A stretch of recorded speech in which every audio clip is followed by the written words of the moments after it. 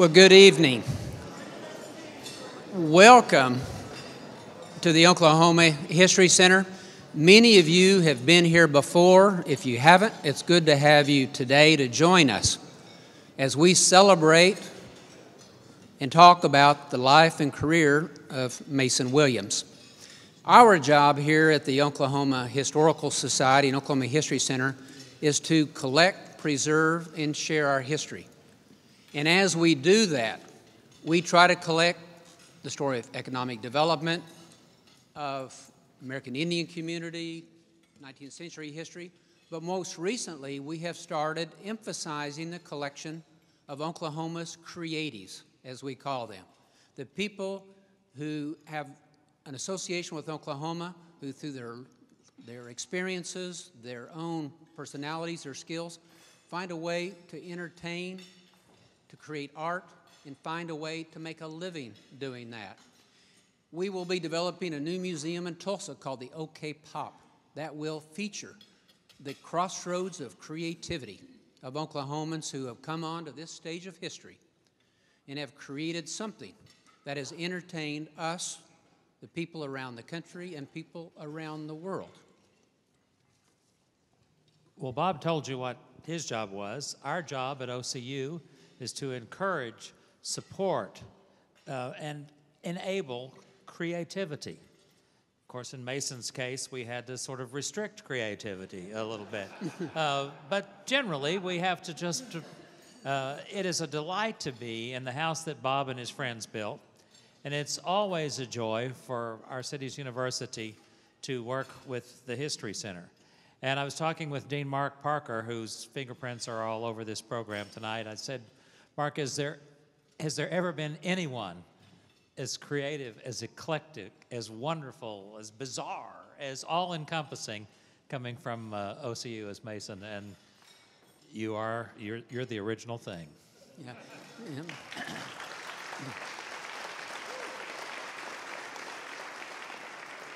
And we've worked with Mason uh, for several years. He joined us in Miami, Oklahoma for a program on coffee house music and some of the musicians who were learning their, their skills and entertaining people in the 19, late 1950s and early 1960s came together. Mason gave a program, pulled some of his friends onto the stage. I see some of you around the room today who shared with us that experience in that time in Oklahoma history. Well, of course, when I thought about this program again and honoring Mason, I reached out to, to President Henry and said, the OCU experience combined with the Northwest Classen experience in Oklahoma City, here. his role as making history as an entertainer and creative person, that this needed to be a collaborative event where we would pull in the students who are learning lessons today that Mason learned 50 years ago, almost. Not quite. So it seemed like a natural for another partnership and Robert and I always say that we are bookends on 23rd Street. We're here on this side of town, on down 23rd Street. Between us, we should be supporting and celebrating the arts, creativity, and what's special about Oklahoma City, Oklahoma, and our people. So tonight, uh, we are going to try to do this kind of bounce back and forth on introducing Mason. We could go on forever. Probably very few people in all of show business would compare, if you try to find comparables, the only person that my staff and I could come up with was Steve Martin, musician, a writer, a comic, performer, someone who collaborates on di in different fields of the arts. But Mason's story begins in Oklahoma City, where he grew up and graduated from Northwest Classen High School.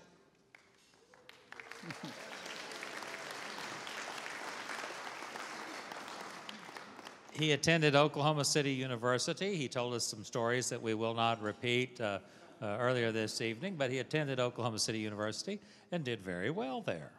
And he has written more than 250 songs, some of which we cannot share with you tonight, but we have heard some of those stories today. He was nominated for five Grammys and he won two Grammys. He was a. Yes. He was a writer for the Roger Miller comedy show on network television at the national level and a good friend. And his talents blended with Roger Miller. And when we talk to musicians around the country who know music in Oklahoma, and they think of Roger Miller and they think, what a brilliant man. And we've heard some stories today about that experience. And you, brilliant OCU students, uh, you have not reached the advanced uh, age that will make you fully appreciate this, but Mason was the head writer for the Smothers Brothers comedy show.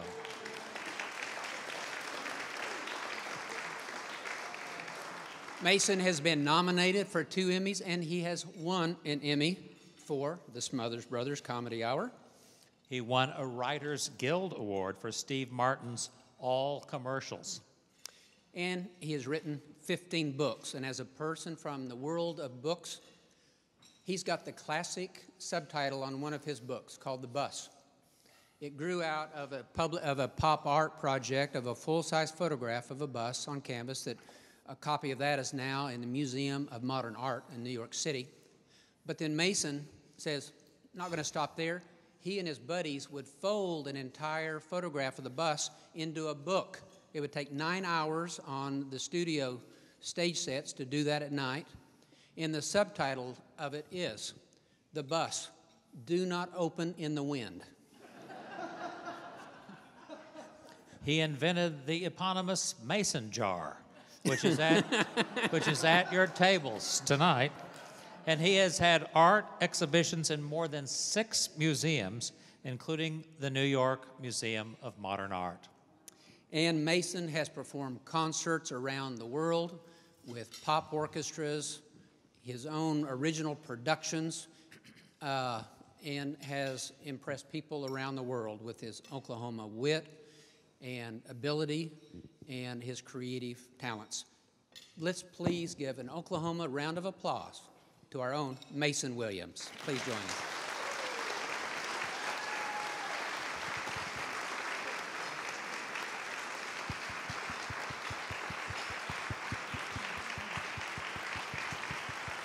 Yes, you've already got a standing ovation.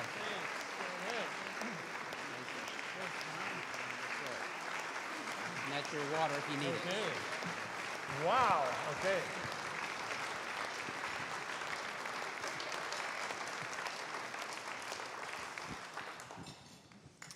Well, it's always great to be back in Oklahoma. It's not only wonderful, it's thunderful sometimes. and uh, since I grew up here, this is the theme park of my youth. And I get to be a kid again every time I come here. And those of you who live here, you get to be kids all the time, I guess. So that works out pretty well. Thank you.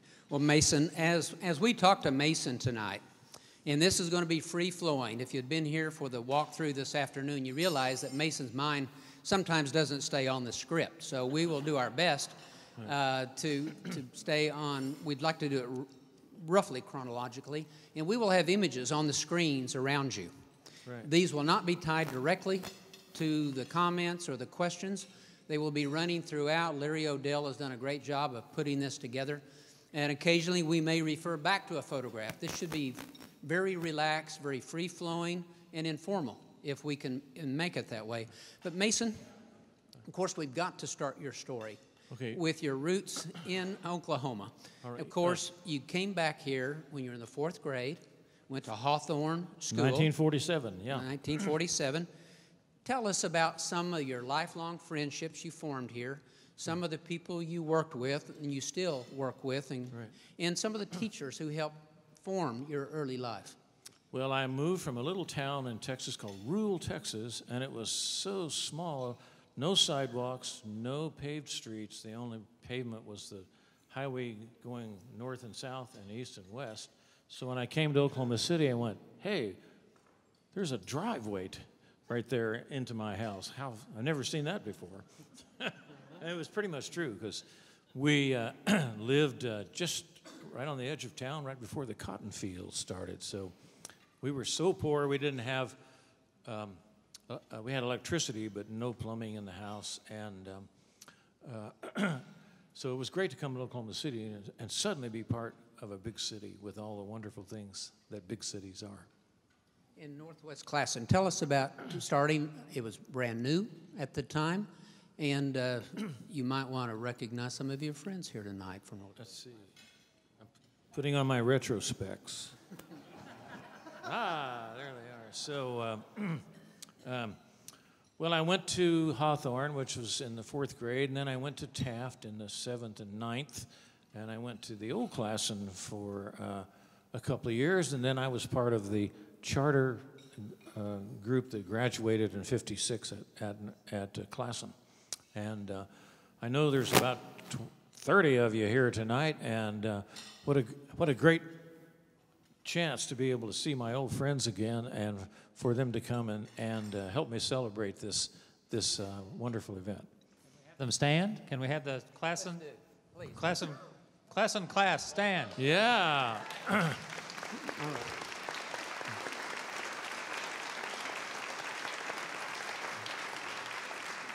And Mason, one of those classmates was a young man who would become an artist. My wife and I were just in San Francisco, and when we got there, driving from the airport to the house, we saw banners for an art exhibit for Ed Ruscha.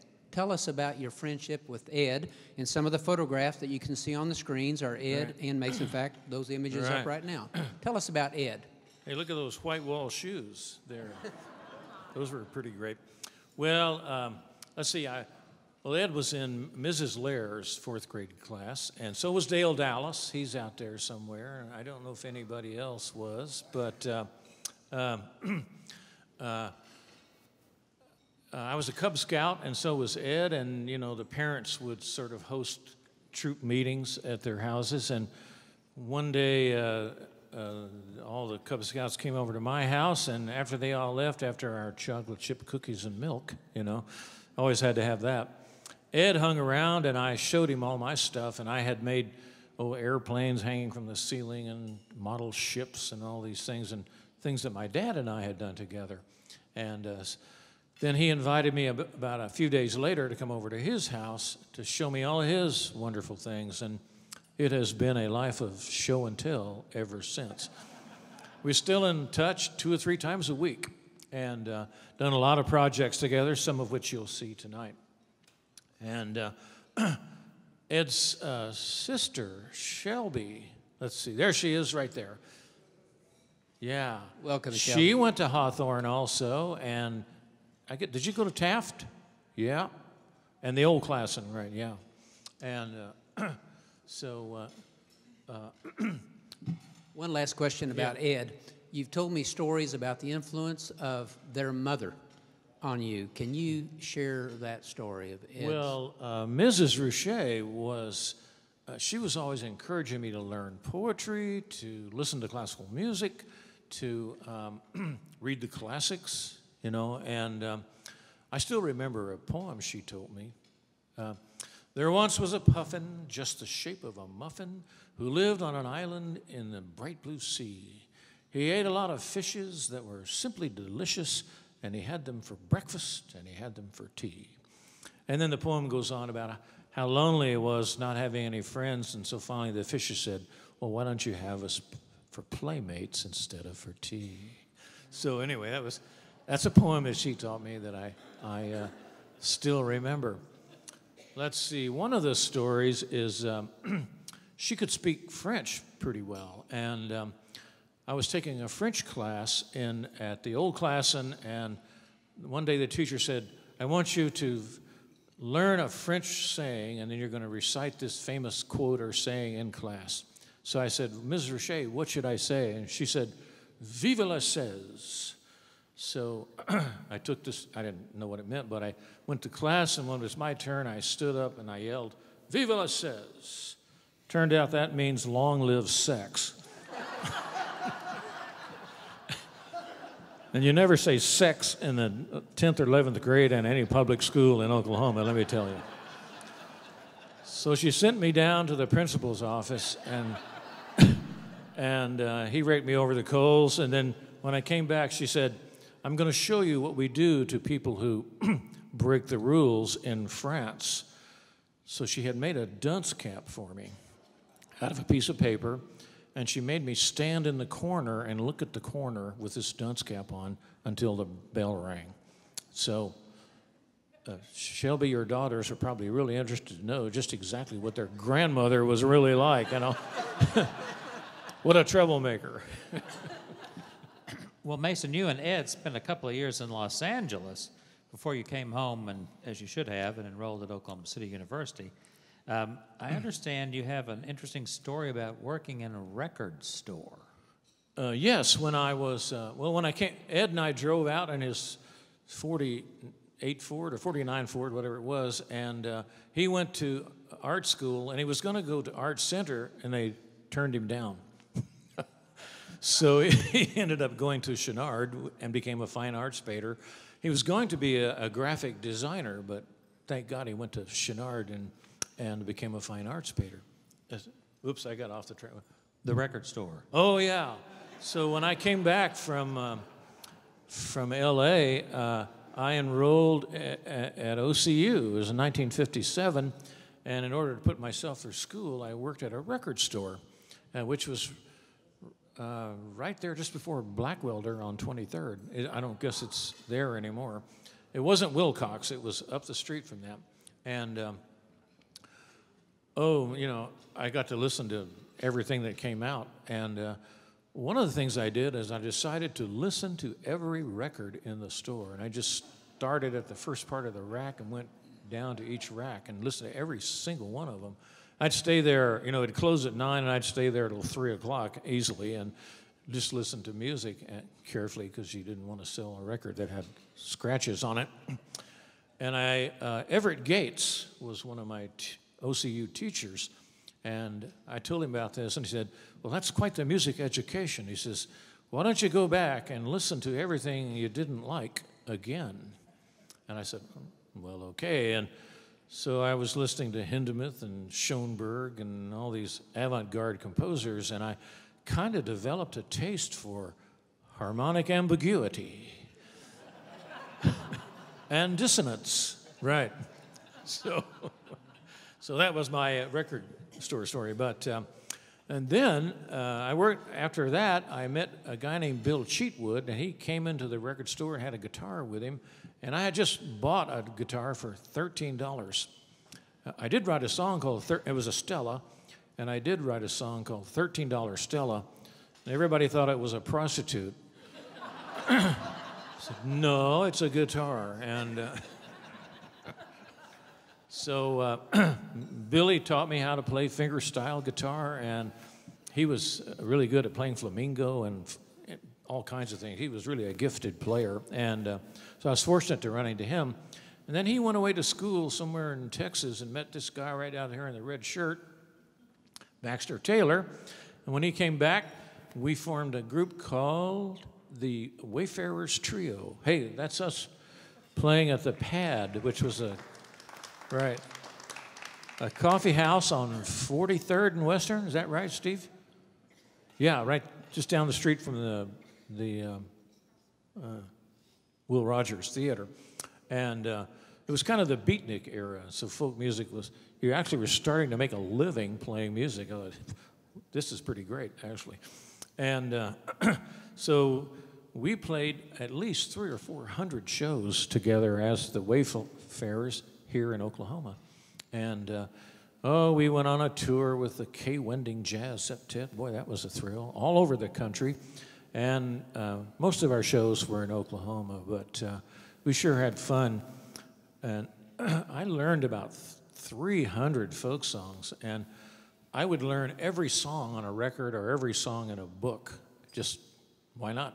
And uh, that sure came in handy when I started writing for the Smothers Brothers show because most of their comedy bits were based on send-ups, I guess you'd say, of folk music.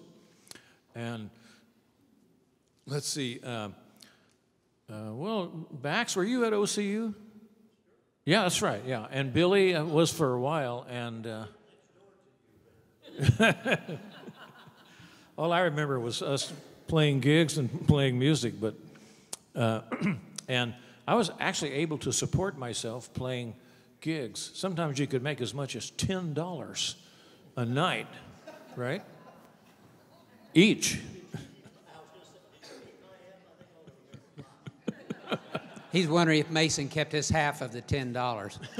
Mason, when you were playing that circuit of coffee houses Mm-hmm. and and where folk music was was gaining a new audience, and these Yeah. young people finally had the money after World War II to go and to be the patrons. Right. What were some of those clubs? Talk about the Gourd, for example. We have this illustration up, which is an advertisement for the Gourd, a coffee house.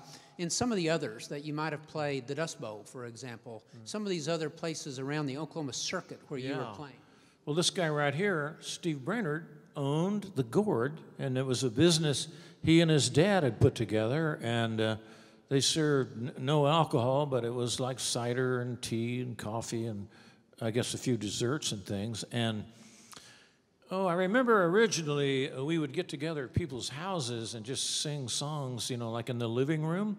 So in the very beginnings, the stage was like a living room, and we were just up there trading songs and talking to each other, not very formal. And but as time went on, uh, we were joined by Johnny Horton, who was a guy who sort of said, "No, you got to have a real act," and so we got to be more professional as we went along. But the Gourd was a great place, and all kinds of people from Oklahoma City came down there and sat in and did shows. And, and later he uh, moved to a club called the Budai. Maybe some of you remember the Budai. It was a few blocks uh, away, but he was the mover and shaker for folk, folk music in Oklahoma City. And he ha- had a club in Tulsa for a while, too. Speaking of the Budai, a little personal story. One day, Jeff Moore and I were on the, the road to Tulsa and we were talking about Tommy Smothers. He'd, a biography had just come out, and I said, Well, my mother knew Tommy Smothers because I have a photograph in her collection that's up here with Tommy and Dickie. So I called mom and I said, Mom, what year did you have the photograph taken with Smothers brothers? She said, 1963. Don't you remember? You met him. He was in town playing the Budai in 1963 and was on mom's show and said, Hey, you want to go out tonight? Mom said, Sure. I met Tommy Smothers, didn't know it at the time, and, uh, but that was my, my connection with Budai. Well, I'm sure he was more interested in your mother. but that's. If I know Tom. We practiced that joke all day. That Yeah, worked out did. great. Thank you. okay. Well, uh, we want to play one of the songs, that, one of the beautiful folk songs that you recorded and, and brought again to popularity. Before we do that, Mason, I want to introduce some OCU students who are here tonight. Yeah. And I want to thank Dean Mark Parker. Dean, would you stand up? The Wanda Bass School of Music. Um, and Professor Matt Denman of our Guitar Center. Yes. So Yeah. we have. Will you raise your hand when I call your name, please? Liza Clark, Right. Jason Wong, Hey, I should add something. She's from Eugene, where I live now. Right. And I've seen her in a lot of children's productions back there. And boy, she's really great working with all those kids, and she's got a wonderful stage presence, too. So she really stands out. uh, Jason Wong, and Henry Bayless, Right. Audrey Oden,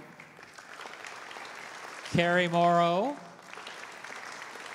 Martin Lee, and Alfredo Vasquez.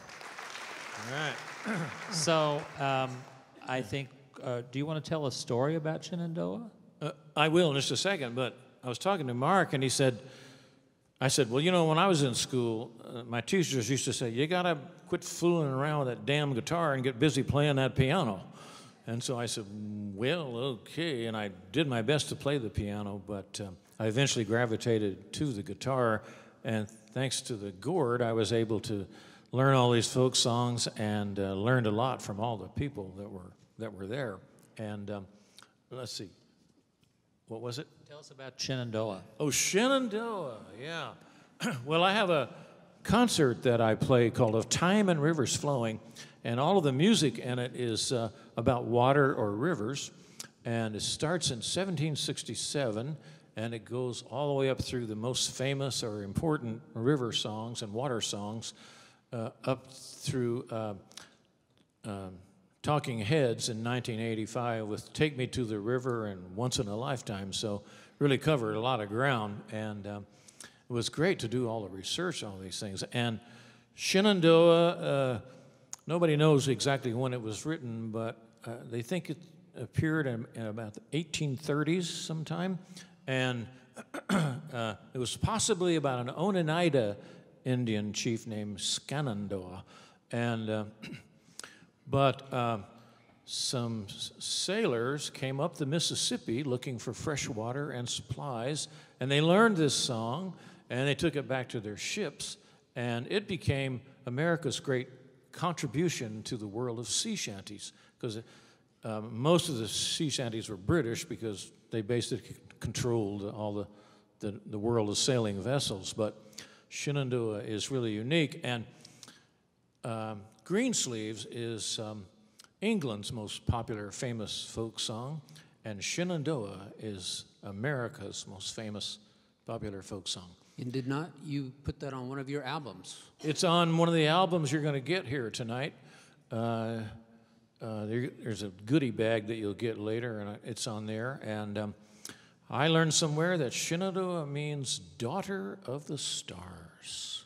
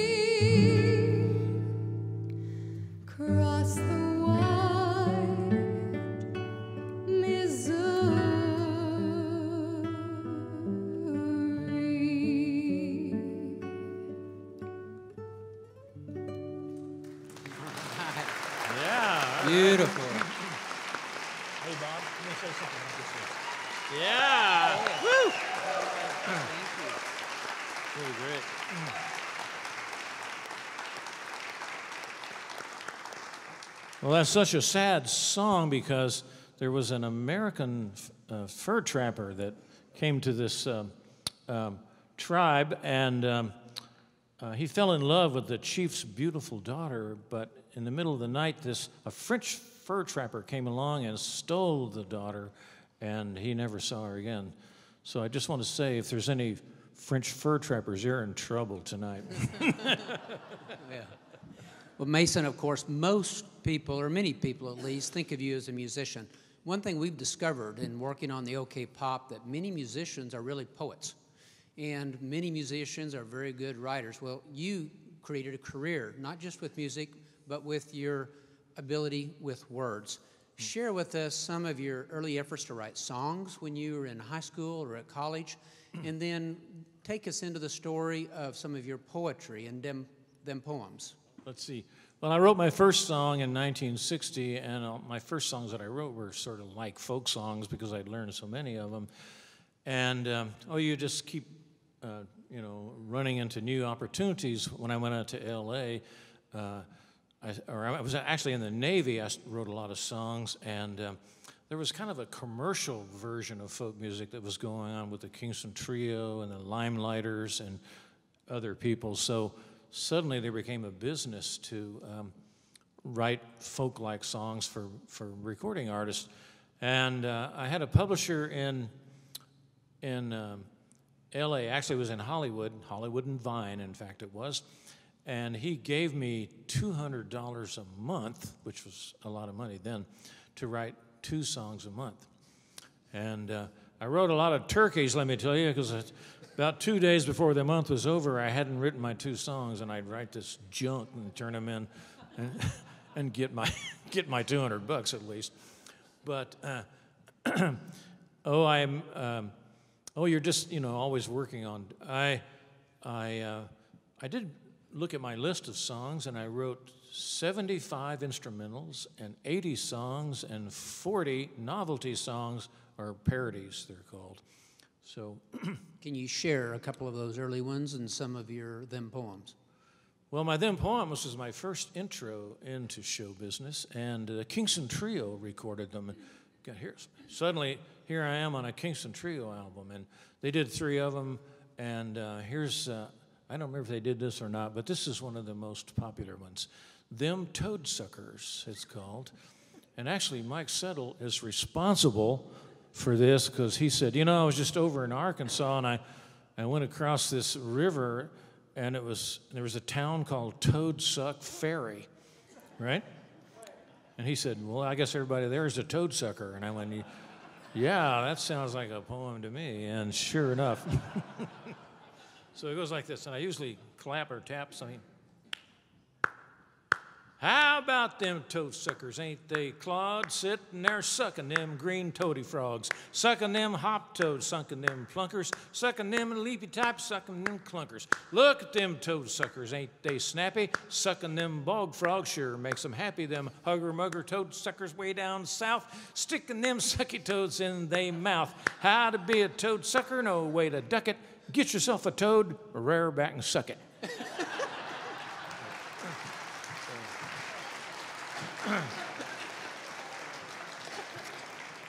Uh, but one, Well- at least one more. You've got to share another. Okay, one of the other most popular ones was one called them Moose Goosers. so, how about them moose goosers? Ain't they recluse? Up in them boondocks, goosing them moose. Goosing them huge moose, goosing them tiny, goosing them meadow moose in they hiney. Look at them moose goosers, ain't they dumb? Some use an umbrella, some use a thumb. Them, them obtuse moose goosers sneaking through the woods, poking them snoozy moose in they goods. How to be a moose gooser, it'll turn you puce. Get your gooser loose and rouse a drowsy moose. All right. Believe it or not, there is a train up in Alaska, and a lot of moose get on the tracks, and they have this special thing that scoops them off the tracks, and that train is called the Moose Gooser. So, Robert, just a minute. One of your albums is called Them Poems. yeah, that's that's one of the. Is that one of the giveaways tonight? Yeah, it sure is. Listen to that CD on the way home, Right. and he has more of those. Yeah, there's a lot of those. similar. Well, you know, they're not all about sex and violence. Here's a much more sophisticated one. Them hors d'oeuvres. How about them hors d'oeuvres? Ain't they sweet? Little piece of cheese, little piece of meat.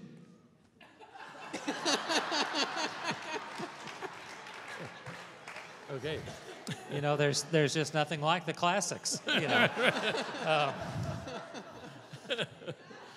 well, as I you know, as I uh, sort of in, intimated earlier, uh, your creativity virtually knows no bounds. You went into sort of graphic, uh, uh, even the French stuff. Should I do them beaver cleavers for you? No, no thanks. okay. Maybe not. that was about the TV show, right? Um, what about the bus and the Skyrider sunflower? These are are a different form of art. Well, after I got out of the Navy, which was in San Diego, basically, I belonged to the Navy Reserve here in Oklahoma City. And uh, John Bedford, who's here tonight, uh, Joe Rowan and John Bedford, his, right there, his father was the, uh, the big cheese up back there. I'm not sure what it was, but he was the head of the whole reserve here in Oklahoma City. So I joined the reserve, then you had to go on active duty, and I lucked out and went to San Diego, which was not that far from LA. So I would go up to LA and visit Ed whenever I had a couple of days off. And also in 1956, when Ed and I were living together, there was nothing to do, so I read all of Ed's art books. So I kind of got an art education via osmosis, I guess you'd say. And uh, but when Ed was there, we'd uh, we'd talk about art and this and that, and um, uh, so I I decided, well, I'm going to do some art.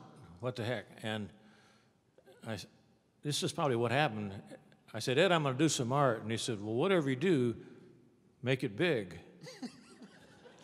so I did this life size photograph of a Greyhound bus, which is 36 feet long and 10 feet high. And um, it's in the box that he was telling you about. And uh, it's, on, it's on display right now at the Museum of Modern Art in New York City, and it was at several other museums. And then uh, for my second one, I decided to do a, a project called Sunflower or Skyflower. And I was going to draw a stem and two leaves underneath the real sun and have the real sun be a sunflower for, well, it lasted 40 seconds. And it only cost me 5,000 bucks, which is every cent I had at the moment, but that's the way art is, you know. And um, so uh, here's some, yeah, that's kind of the, that's the finished picture, yeah. And uh, Mason, tell them about the film that you were going to make with this, that you had a film crew there that day. Well, I hired a guy uh, to film it, and uh, when he got out there, he said, You can't shoot directly into the sun. So I didn't get anything uh, for my 5,000 bucks, but a lot of white film that you, nothing on it. You can't see it. But I had written a piece of music to go with the film of them making this, and um, that'd be a good time to play. Uh, and it was you. I, it was a, a pretty good composition, I thought, and I ended up using it um, on a as a uh, a video that I did for the Smothers Brothers. Uh, this was in 1968, and uh, um, uh, it's. Uh, uh, I was always interested in using new technologies, and the slow-mo disc, which is the thing they use for for uh, instant uh, sports replays, had just been invented. So I saw this disc, and I said, "Hey, I want to use that for something else." So they said, well, okay. So uh, we made this film, and um, uh, it's uh, two dancers from the show dancing to my tune, Sunflower. And uh, one of the earliest videos, uh, 13 years before MTV. So ahead of the curve on that one. We're going to run that clip for you right now.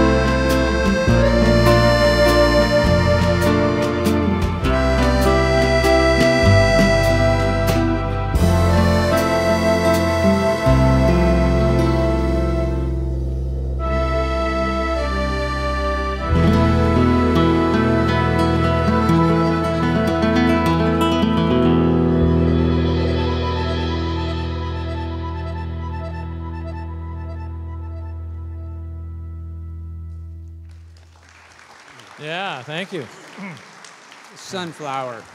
Music by Mason Williams. Let's see. Uh, those were two of our regular dancers on the show, and that just shows you the depth that of the artists that we had on the show. They could, could tap dance and do all this other stuff, but you obviously could see they were excellent ballet dancers as well. Well, Mason, during the 60s and 70s, you either produced or performed on more than 30 albums. We've got your playlist, and we're going to have a complete collection of your work. Right. Describe the range of the music from, you know, them poems, of course, kind of wordplay, set to rhyme and rhythm. But then, of course, then you have the sunflower. What were some of the songs that stand out in your memory as being something that you've you've discovered something new, or you've reached a new audience, or it's taking you in a, a new direction? Any thoughts on? Uh, well, let's see. I was never very good at writing what I thought was pop songs. Although I'll play you one that I did write. I think was pretty good. And uh, so you're always trying, always going back, writing instrumentals, writing novelty songs. And Warner Brothers, Classical Gas was a big hit for Warner Brothers, and they wanted me to have a whole album of guitar pieces. And I said, uh, no, I'm too involved in too many other things than that. So there's all kinds of stuff on all my albums. And um, my third album started to be more like a television show because I had guests on it and uh, let we'd sing songs together or they would perform numbers of their own. And uh, so you're always sort of uh, being influenced by from one thing to another. It's like cross training. You know, you you uh, uh, learn to write uh, for television, and that makes its way into your music, and then it makes its way into your poetry, and it makes its way into your performances. So it's all this stuff that sort of all blends together. Uh, what was that? I want to go back to your instrumental career. You're a guitarist, you're All right. a banjo player, as well as a singer and songwriter. But you were known for bluegrass music, too. Tell us the story of your song McCall. Oh, uh, well, I, Steve Brainerd and I, we did our first my first performance was with Steve at OCU, and, and uh, we played uh, three folk songs. And uh, in the review, they said, well, they listed all the other people that played, and they say, but Steve Brainerd and Mason Williams stole the show with their rendition of three folk songs. And uh, we were never arrested for stealing that show.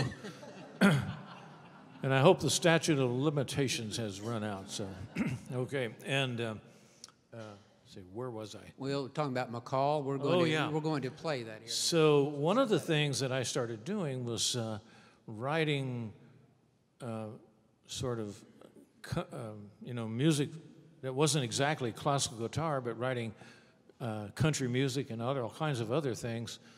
And this is a country tune for classical guitar. And Byron Berline is playing the fiddle on here, and Jerry Mills, my man mandolin player, who was in the Nitty Gritty Dirt Band, and uh, uh, anyway, uh, Byron is just the most amazing person ever, and he's playing the fiddle on this. And um, this was uh, basically recorded in 1984 in um, uh, Birmingham, Alabama.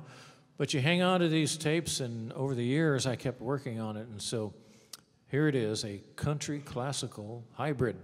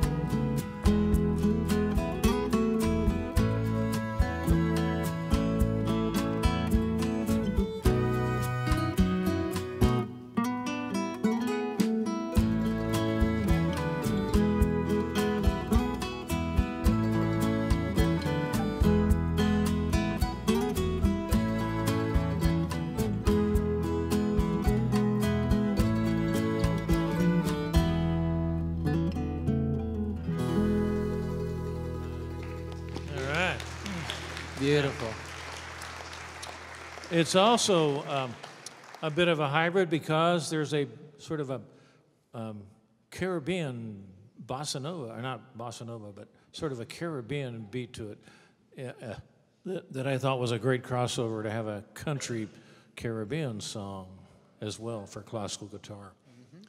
Well, Mason, you were active in the television industry for more than 20 years, scriptwriter, performer. And in 1966, you joined another Oklahoman from Western Oklahoma, Roger Miller, on Right. his television show. Tell us the story of, of meeting Roger, how he really discovered you, Right. brought you into that process, and working with Roger. Talk about a production of one of his shows, for example. Okay. Um, let's see. Well, I had produced a book called Bicyclist Dismount, and in fact, Ed Ruscha did the cover for it. And um, Roger ran across it on a coffee table somewhere, and he was getting ready to do this show for NBC, half hour variety. And he liked it, and he said, Let's hire this guy to write for me on my show. And when he found out I was from Oklahoma, he went, Boy, am I right or what? and uh, so Roger uh, uh, was such a character, man. He was, wrote great songs, not only really funny songs, but catchy and also some beautiful songs, too. He's the full spectrum. And uh, he was uh, uh, legendary, really, in the business for being wild uh, Roger Miller. Let me tell you a quick story. We had played a concert. We, we flew to all of our gigs in a Lear jet you know, why fool around with commercial airlines when you've got a Lear jet? So we were in Tulsa and we were ready to leave for our next gig, and the guy in the tower said, Sorry, you can't leave because you can't even see the end of the runway. And the pilot said, I'll be at 14,000 feet by the end of the runway. so, and just like that. So, and there were lots of stories, let me tell you. Did you normally write for for guests coming onto the show? Now, in your collection, I've seen this. You have some cartoons of an opening segment for Roger Miller to open the show. Right. The cartoons were illustrated by Ed Ruscha. So They you were, brought yeah. your buddy in, helping him make a little money at the time, I'm sure. Mm-hmm. But then you would do that skit. Talk about working that way with Roger and then the production of it and trying to get your comedic timing and all and working with Roger.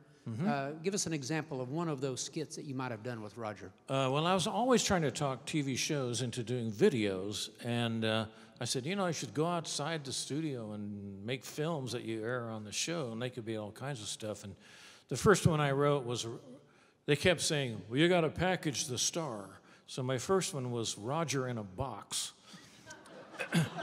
and uh, this truck pulls up and pulls this box off, and uh, it's got a guitar hanging on the outside of it. And they bring it into NBC, and uh, they open it up, and there's Roger Miller, right? So I said, "You said we had to package him, and that's that looks pretty good." And uh, oh, I wrote.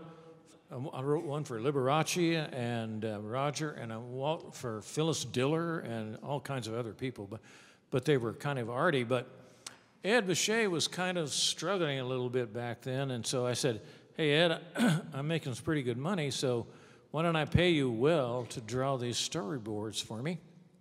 And uh, uh, so he did, and there was about a dozen of them, and uh, but they they didn't go for it. They said, "No, it all takes place in the studio." So, um, but that eventually led to the me doing videos on the Smothers Brothers show, like the dancer one, the the sunflower dancers that you saw. So. I was always trying to involve Ed in my uh, creative things because we were just living together and hanging out together and, and uh, uh, doing all kinds of uh, projects. Well, and Oh, so sorry, in Ray. 1967, you joined your friends, Tommy and Dick Smothers, uh, for this Smothers Brothers Comedy Hour. Yes. And uh, tell us about touring with them and working with them. Right. Well, let's see.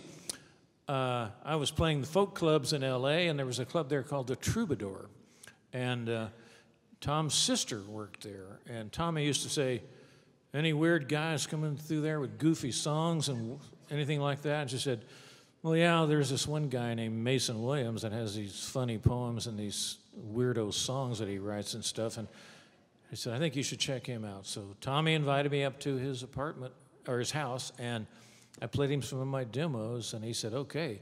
And I made an album with him, yeah, right there, a week later. So that was pretty good. And I ended up going on the road with them for about a year, and we just played all over the country. And uh, uh, one, one of the great things about watching them do concerts was after the show was over or during the break, they'd come backstage and argue, would say, You stepped on my line, you know, say this slower. Look at me when you say that. And they have all these arguments that would go on. And I, so that's where I learned to write for them was the arguments after the show. Well, we have a clip of you performing on the show. Larry, do we still have that clip? Yes, uh, Mason, before we show the clip, this is you performing on the stage, Smothers Brothers. Right. And you all decided that you would be one of the performers that night. Tell us about this particular show. Uh, which one is it? There were 74 shows. Which one? Larry, which one? Censored. Oh, censor, yeah. Well, we had a lot of trouble with the censors, and because because of No. the controversial material that we were having on the show. And I remember the, the exec, TV execs came to us and they said, We're getting a lot of uh, letters from uh, viewers complaining about the controversial material on the show. And he says, You've got to understand, we don't want bad letters. We also don't want good letters. We don't want any letters at all. You know what I mean? and they, they said, we want television to be sort of like, sort of passive, like being in church. sort of not too happy, not too upset, just kind of in a hypnotic trance. so I said, well, I think I get the message. And I sang this song for him.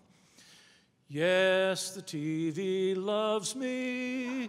Yes, the TV loves me. Yes, the TV loves me. The TV tells me so. And shall we gather at the TV, the beautiful, the beautiful TV, gather with the world at the TV and bask in the light of its love? so. Let's run the clip.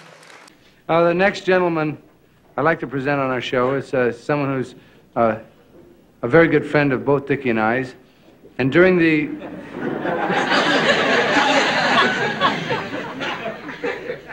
Dickie and me's. we try to make our show as honest and as uh, fluid and as personal as possible. Uh, Mason Williams, uh, just uh, a little over three weeks ago, won two Grammys for his uh, composition Classical Gas. And I happened to be there at the uh, Century Plaza when he won it, and I was very proud to be with him, and I think he deserves a real hand for that. Two, his first Grammy.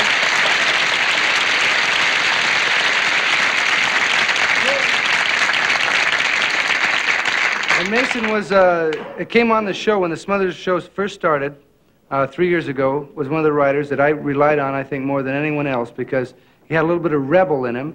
And uh, when anybody said no, I'd, we'd talk it over and he'd say, yeah, well, you know, I think you should do it or whatever. And we'd work out, work out plans and stuff. He was a strength to me. He's a fine musician. He's a poet, and he has a book here that I've been holding called the Mason, Mason Williams Reading Matter. It's out on Doubleday. It's a great piece of uh, literature. Ladies and gentlemen, my good friend, I'm proud to present Mr. Mason Williams.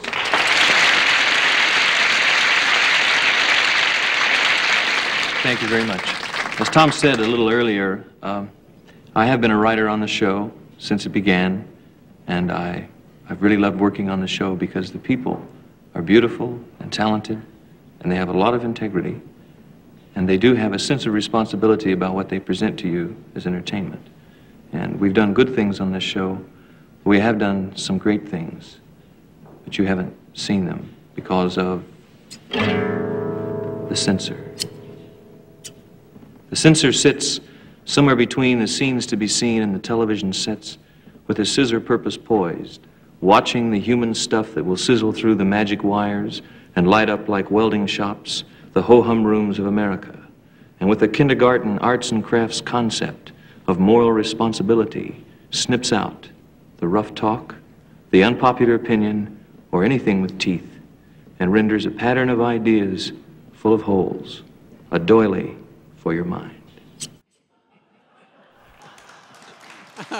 All right. In reading, reading a little bit on Mason the last few years and doing research, Can I say something about doilies? you may.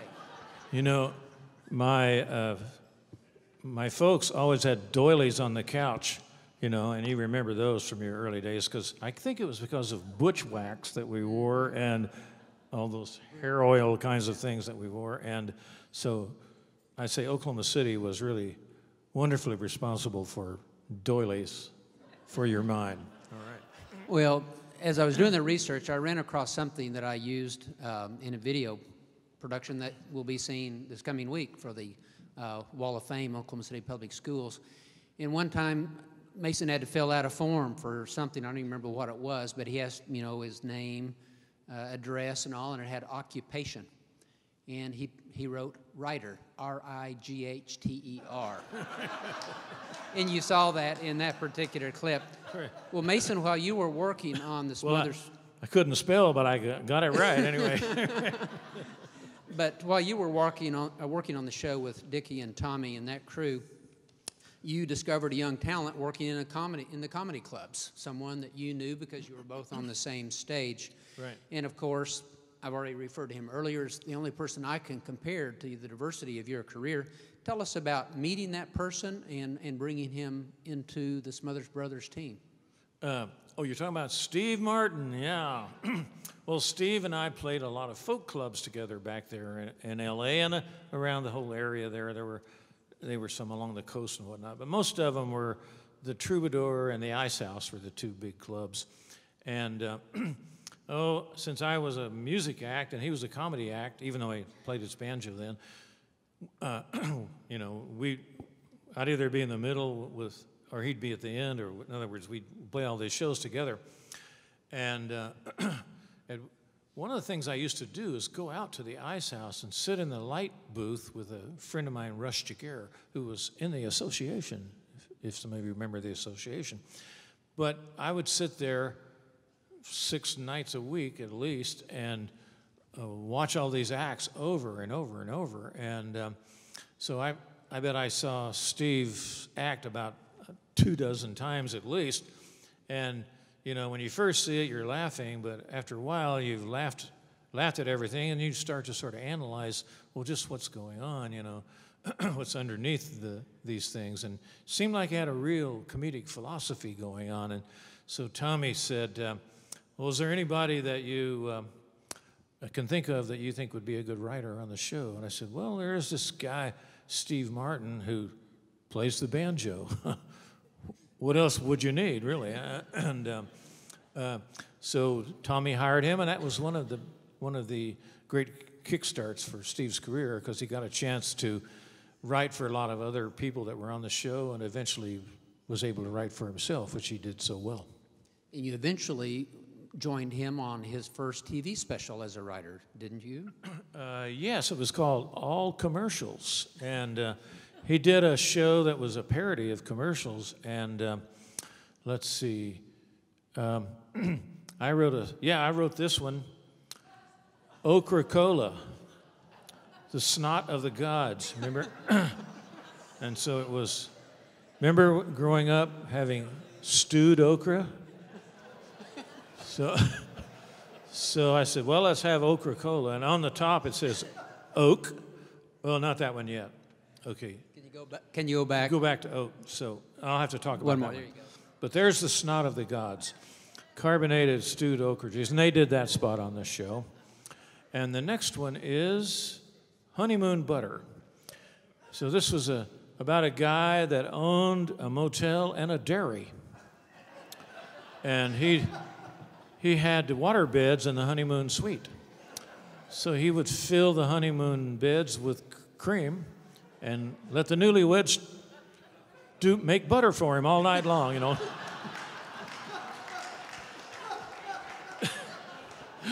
and uh, and uh, you know, it also saved energy too. That was a good use of energy. So that was, was- that one. There was one more image there. There we go. Oh, beaver snaps. That was a cookie, and uh, I thought uh, Aunt Lulu's beaver snaps, and uh, of course the logo was a was a beaver, and he kept saying, "Damn good," you know, and. Uh, there was another one I wrote called Black and White TV Dinners, and it was a TV dinner, and everything in it was either black or white, you know. So- but uh, uh, anyway, there, there were others too, but those those three or four made it. Well, moving back from the ridiculous to the sublime. Uh, you and Tommy, I believe, co-wrote the theme. For Oh, no, it was show. me and Nancy Ames. Any, Ah. any of you remember Nancy Ames? Yeah, she was this beautiful bl- blonde bombshell that was on. That was the week that was, and she sang all the parodies and things. And uh, uh, so we were in Las Vegas, and uh, the show was going to have to have a theme. And uh, so I was fooling around on the guitar, and I was in the key of C, and I made a mistake and went to an E chord by mistake, and then I slid it up to the F. And I said, hey, that mistake sounded pretty good. And Nancy said, yeah, you know, the Smothers Brothers' whole career is based on mistakes. so why don't we write a song where it has the, the mistake in it over and over and over? So when you hear this thing sliding up to the right chord, that was the beginning of the Smothers Brothers theme. And I think our OCU students are going to play Yeah. that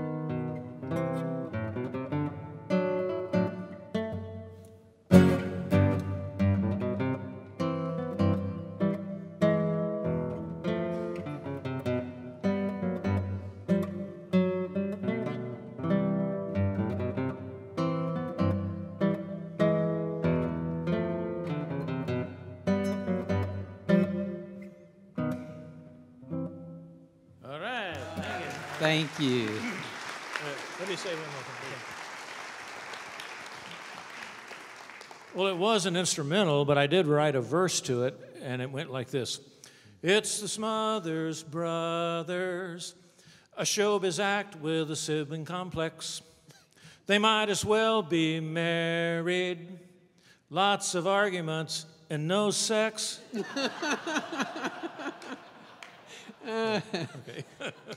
Mason, of course, there's so many memories that all of us have about that show. Of course, one of our favorite characters this election season, we think of Pat Paulsen, of course. And can you tell us how you work Pat into the flow of the show and Sure. in your association with him? You even went on stages with pop orchestras.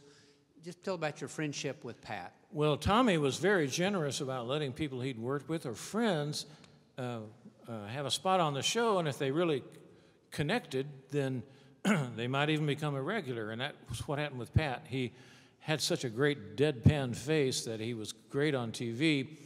And um, back in those days, uh, the uh, each uh, uh, channel uh, had a they would have what's called an editorial at the end of the broadcast day and they talk about some issue or something that was important and tommy wanted to do a satire of one of those so he asked me to write it and i said okay well there's this law on the books in pasadena called and it says it is against the law to lurk with the intent to loom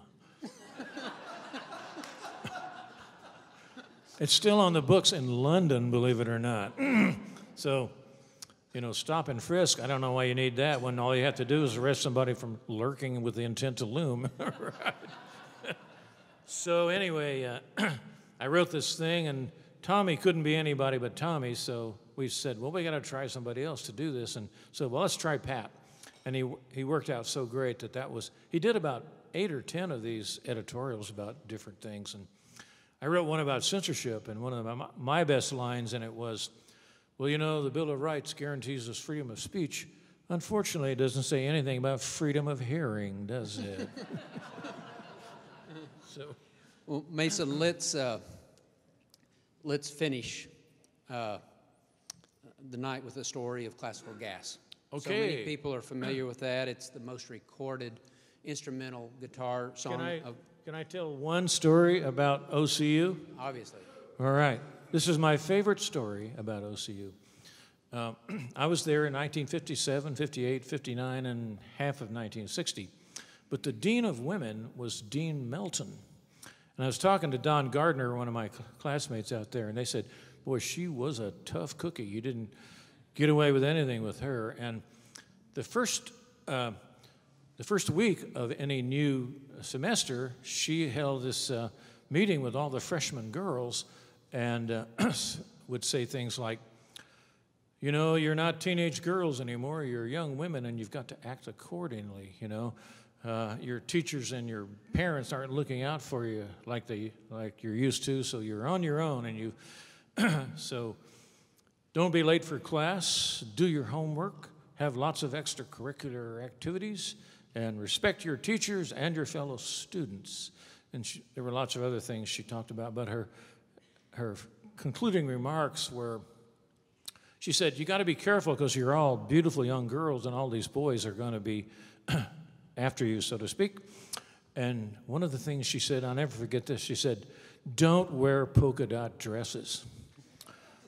Because polka dot dresses get men excited. And, uh, and I, I'm not sure why, but she was the dean. What the hell do I know, you know? and she said, and if you happen to go to a, a frat party and there's no place to sit, and you have to sit on a young man's lap, make sure there is a newspaper or a magazine between your lap and his, right? Daily Oklahoman was glad, glad to hear about this, I'm sure. Well, now, now I understand more about classical gas. Right. Well, no, no. but her concluding remarks were, and you know, uh, I think I have to. Uh, the last thing I want to let you know is that you're very attractive, and I don't want you to get romantically involved with a student and get pregnant because 30 minutes of pleasure could ruin your entire future. And then she'd say, Any questions? And the girl raised her hand, and the dean said, Yes. And the girl said, How do you make it last 30 minutes?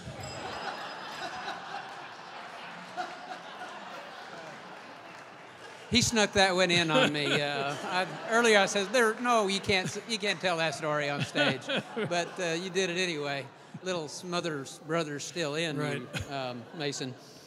but uh, anyway, classical gas. Oh, yeah. Now, of course, the association uh, with, you know, your friend who helped teach you. Oh, yeah. the My type of friend um, Billy Cheatwood was a great fingerstyle player, so I learned to play fingerstyle guitar from him, and I was never very good with the pick, but that's okay.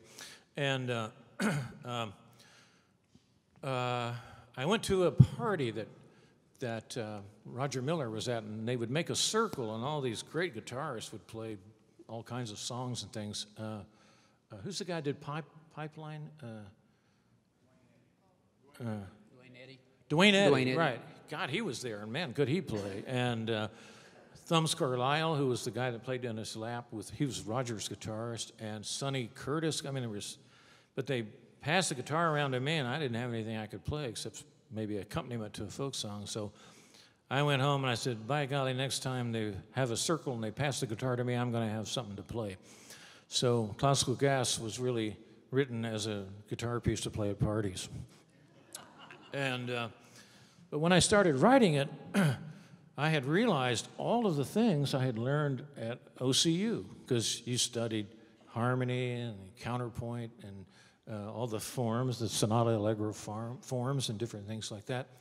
So I just put everything I'd learned uh, into the tune, and um, I won't go into the details, but it, but um, I think that's what made it great is that it um, uh, included all these things I learned from my wonderful teachers, and uh, they were indelible, I have to say. So uh, OCU is enormously important in my uh, my career and for classical gas. So you guys are going to play it. All right.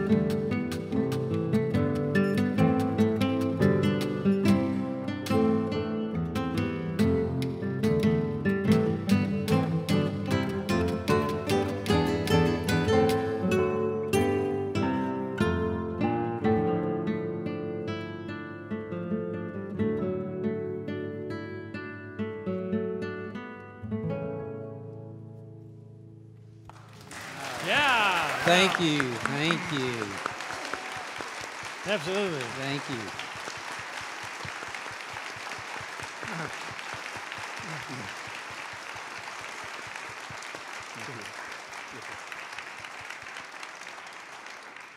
You notice that bow was perfect too.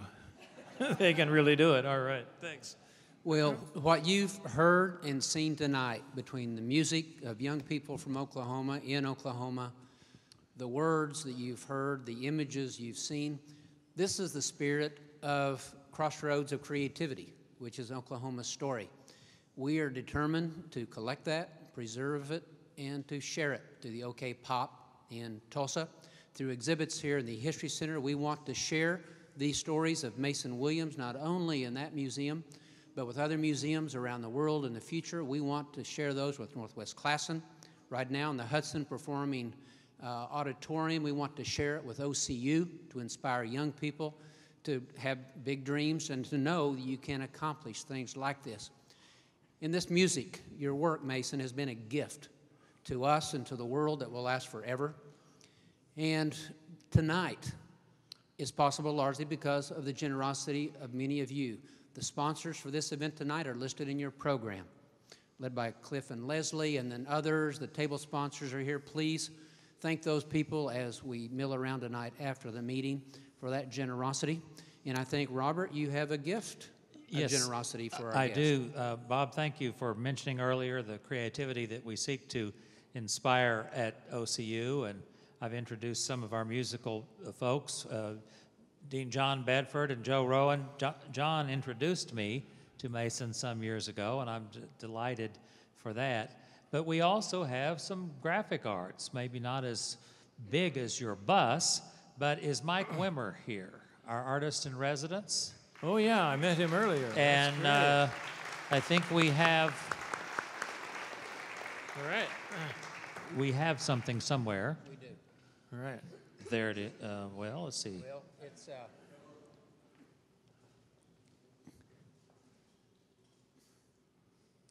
there it is.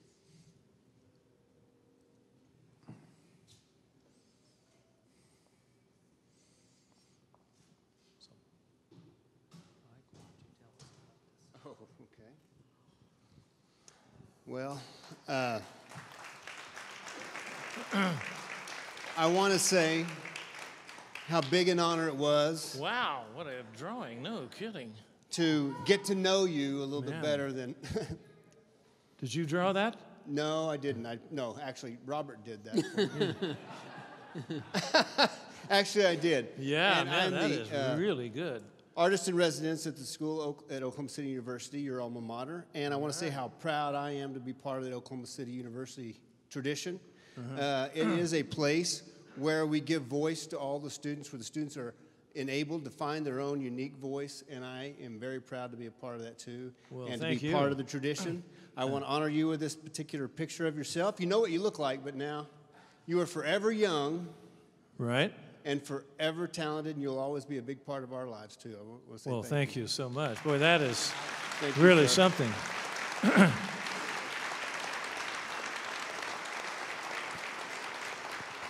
It reminds me of uh, I was on the street one time in Kansas City with uh, Andy Williams, and we were crossing a street, and a woman walked up and said, "Are you Andy Williams?" He said, "Yeah." And he says, "You know, you look just like him."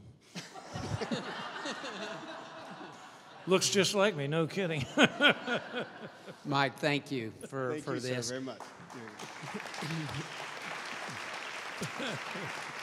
yeah, boy, that is really something. and in terms of generosity, artists like Joe Rowan has been doing interviews with us. Jane Giroux gave us her collections a couple of years ago, and some of you in here have donated either funds or time or efforts or your connections or your collections to us. Well, Mason uh, has a collection, and he is an archivist. He has organized that collection, and tonight he wants to donate something to you, the people of the state of Oklahoma. Would you uh, kind of set this up and uh, explain what you're giving to the people of Oklahoma, Mason? Okay. Well, um, this is a hat that I used to wear back in my Hollywood days. Uh, Oops. A little more of that stuff. And the reason I picked this hat was that it looked cowboy and it looked Native American and even a little vaquero, you know? so, um, oops. Yeah, I've done that before, so. All right. Well, let's see. And you can see on the screen him wearing this, this Well, you know, hat. after all this attention, I guess my head has gotten bigger. All right. All right. Thanks, Bob. they are wonderful interviewers, let me tell you, and how great to see, make new friends and see so many of my old friends from, from uh, Hawthorne and Taft and Northwest Classen and OCU. Uh, just a, a fantastic experience. So thank you for inviting me, and how great to be a part of such a great event. Thank you. Thank you. Yeah.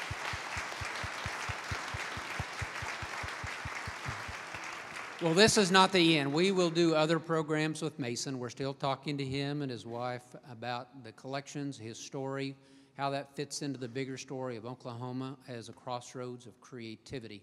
So thank you for coming tonight. Drive safely, and we will talk to you again. Mason, thank you again for joining us. All right, us. my pleasure. Good fun. And Robert, thank you. Yeah.